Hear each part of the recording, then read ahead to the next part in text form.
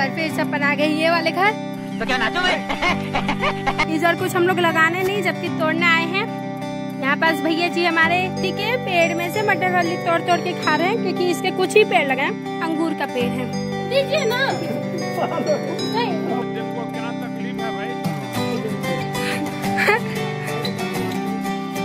है गाइस ये लहसुन लगा है जिसमें अभी पानी पड़ेगा। हमारे घर के दो मुर्गे। ये मटर पल्ली वो खाएगा तो तो गाइस चलिए भैया जी के पास चलते हैं। हाँ भैया जी। हाँ?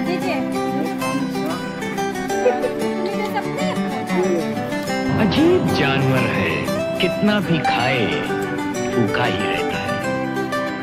बहुत मीठा लग रहा है। तो दिखा दिखा के आपको बोर कर दिया होंगे लेकिन बोर नहीं होना है दोस्तों। समय लगाए थे आलू इस समय फल आ रहा है वो दिखा रहे हैं। ये सरसों है।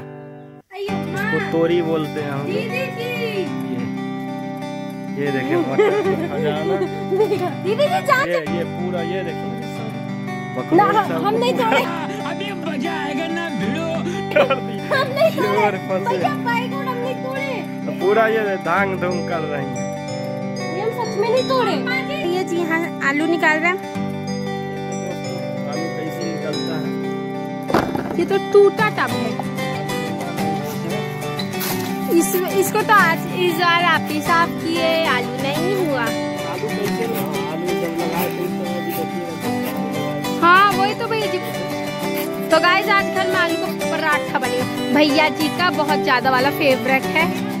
तो अगर हम लोग कभी आपके घर आए अचानक से आ गए आलू परा अगर आ गए। तो आप लोग आलू पराठा भैया जी के बना के रखिएगा। हम लोग खाने आ जाएँगे अगर कोई कमेंट भी कर दिया कि हमारे यहाँ आलू पराठा बने तब भी हम आ जाएँगे। गाइस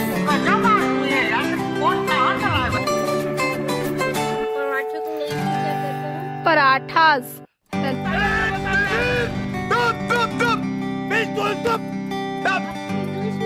एक्टिव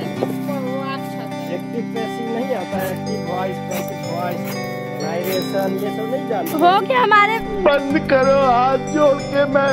ब्लॉगर हमारे जो व्यूवर सब है वो आपका इंग्लिश पढ़ने नहीं आए हैं भैया छी इंग्लिश कहाँ आता है पागल आप लोग तो इंग्लिश मीडियम वाले हैं हम लोग तो मीडियम गजब बेचती है।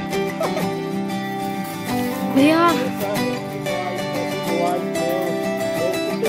गाइस आप भैया जी को नोटिस मत करिए भैया जी अपने में लग गए हैं।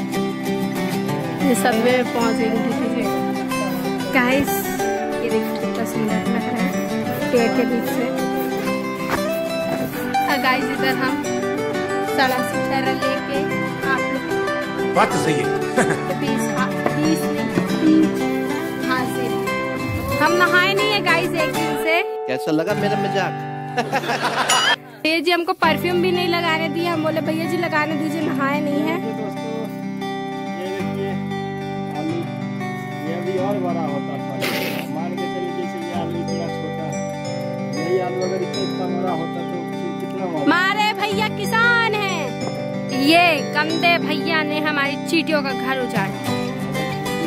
के लिए गाड़ी से फिर जाते सही है। गाइस देखिए ये आलू कितने बड़े बड़े हो गए। बस हमको ये खराब लग रहा है। ये दोनों में अंतर क्या है बताइए।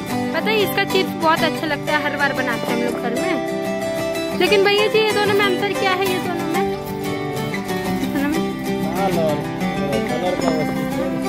दो वैरायटीज